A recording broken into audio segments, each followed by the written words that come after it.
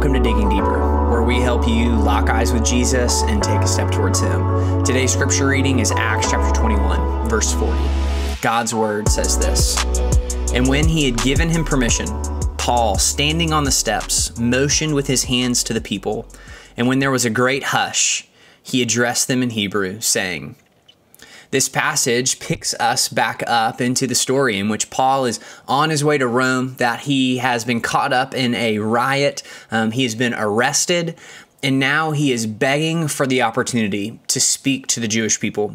Now we'll have we're not going to get into exactly the content of what Paul said, but I think it's important for us to note that Paul is in a horrible circumstance, that he is facing opposition, that there is a true obstacle in the way of him completing his journey as he has been arrested. And Paul is begging for the opportunity to speak.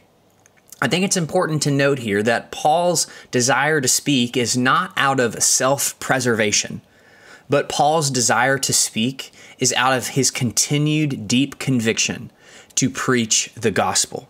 That he is leveraging this opposition, that he's leveraging this terrible circumstance, not for his own safety, but for the elevation of Jesus' name.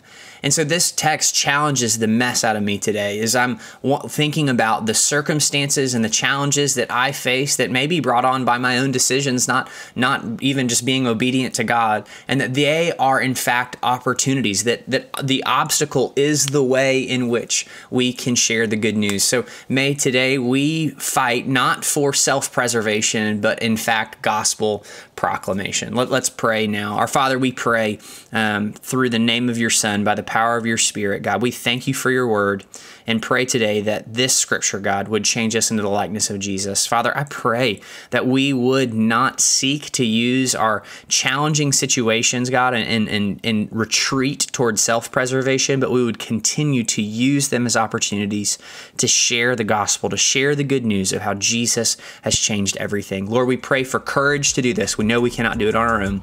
We pray this now in the name of Jesus by the power of the Spirit. Amen.